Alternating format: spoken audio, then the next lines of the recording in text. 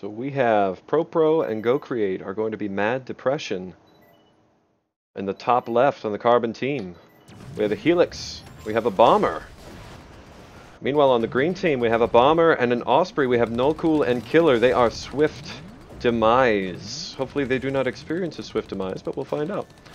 Uh, going ahead, neutralizing, they're, they're doing a mirror matchup. So this particular map is a wide, empty chasm. You've got paths that go around the right and left side. You've got large bridges that are blocked off by destructible toll booths, and then you have this one lonely center island. What we find is that most, most players will generally gravitate towards the bottom, towards the top, towards the corners, and they'll expand out from there and then push from the corners. And then middle will largely go unignored just because there's a lot of neutrals here. It can be difficult.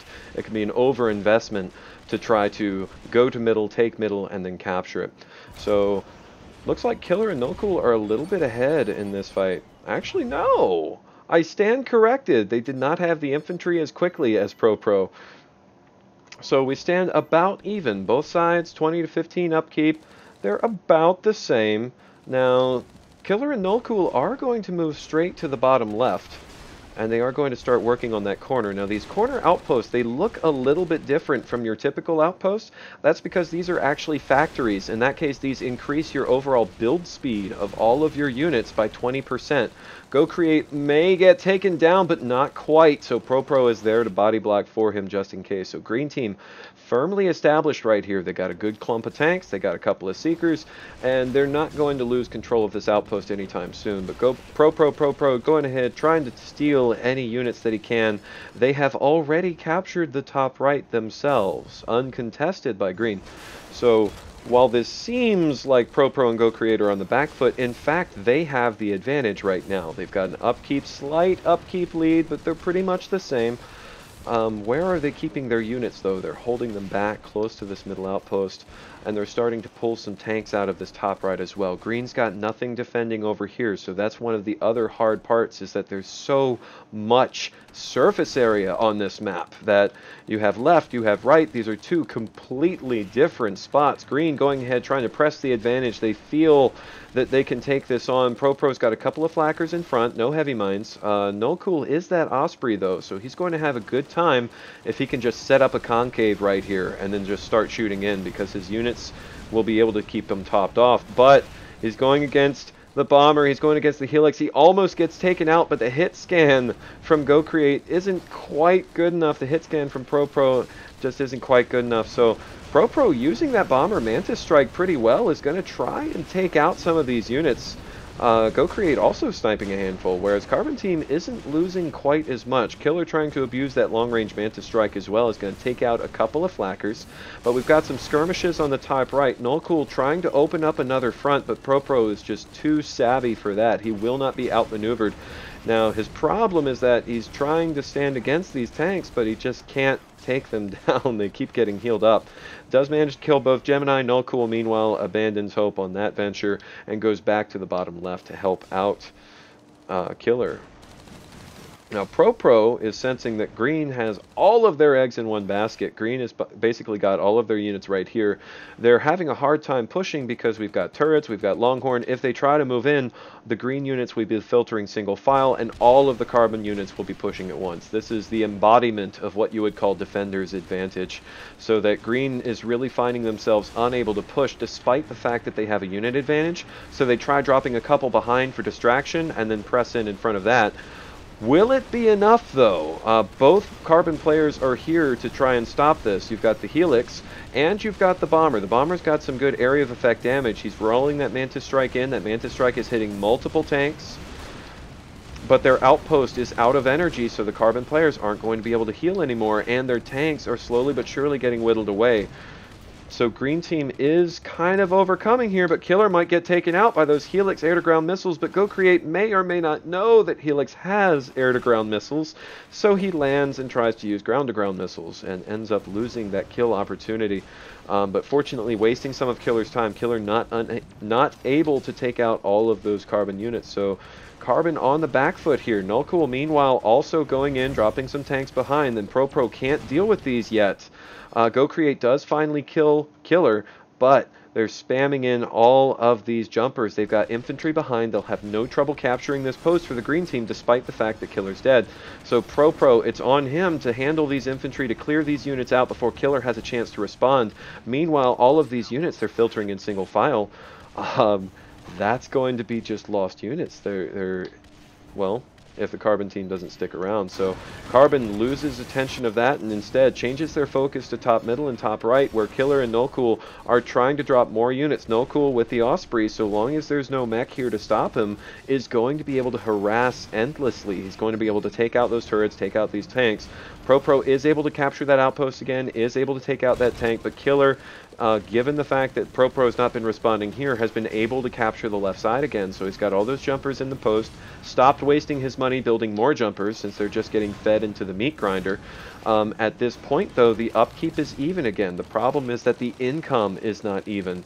Uh, ProPro is going to find himself outmoneyed and outgunned if he's not able to scrounge up an army and do something with it quickly. Now, he was trying to build up an army, but Go Create has gone ahead and sent that on a push. ProPro may or may not be okay with that because you're moving into green strength. You're moving into a pile of tanks so they're going to have to work their mechs. But Killer getting taken down pretty quickly. Lots of flakkers, lots of missiles, lots of bomber mantis strike. But these units are on a capture command. They're not stopping and shooting like they should be. Instead, they're just rolling right into the extra fire from the outpost and the jumpers. And they're going to get taken out as well. So now, ProPro with just flakkers um, going to have a hard time keeping the, getting this post down. Um, but fortunately, those flakkers are going to be doing constant damage to nullkuhl, going to be con doing constant damage to Killer. So they may be able to pull this off, but it's all the damage getting done to the ground army is just with their mechs. Uh, ProPro and Go Create really need more units, and with little pickoffs like that, with little miss miss micros like that, they're going to find that they're not going to have any units to fight with. They do have this very small force in the top right, but that's not a Seeker. That is actually a Stinger socketable, so they have nothing to push with over here, nothing to push with over here, and this is looking pretty good for nullkuhl and Killer with that Swift Demise uh, versus Mad Depression. So ProPro has got to be starting to look at his options. He's going to be starting to scout around, seeing if there's anything undefended, anything that he can harass, maybe neutralize a base here and there, uh, maybe drop a few infantry. But nullkuhl and Killer are doing exactly the same thing. And unfortunately, they can be in two places at the same time. ProPro cannot. So Go Create is going to have to step it up a notch and kill all of these green units on the left-hand side somehow, some way. Now, they're only regular tanks. There's not a whole lot of anti-air in the front, so he should be able to do this with the Helix missiles alone. Um, and if he does build out some tanks of his own, he could use that focus fire to his advantage because these green tanks are also not positioned the best either. ProPro is going to lose that tug of war on the top middle, but he just needs some infantry that he can spit out here to make that base his again. nullkuhl going to keep on dropping tanks, keep on dropping Gemini, and neutralize that top right outpost if he's at all able. Unfortunately, moving it out into the neutral, so he's going to have a little bit more of a headache doing that. So goes ahead, pulls back, ProPro trying desperately to neutralize this post. Go create, not dropping the infantry on the low ground, instead dropping them on the high ground. And some of these are probably going to get picked off before they are able to enter that outpost and make it carbons. Green team, meanwhile, is probably aware that there's some heavy mines here. Would be my guess. They're leapfrogging forward with a couple of ratchets. They've seen some good heavy mine detonations this tournament dropping a tank on the high ground, if this doesn't get dealt with, that little bit of chip damage over time is eventually going to add up.